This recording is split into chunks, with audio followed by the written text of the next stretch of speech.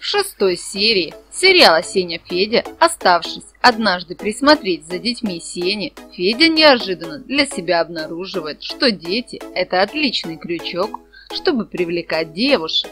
Первый визит санинспектора и сразу же большие проблемы. Чтобы спасти бизнес, Сеня уговаривает Федю соблазнить санинспектора, одинокую женщину. Как всегда, все обернулось не так, как изначально планировалось. Посмотреть шестую серию вы сможете 26 ноября.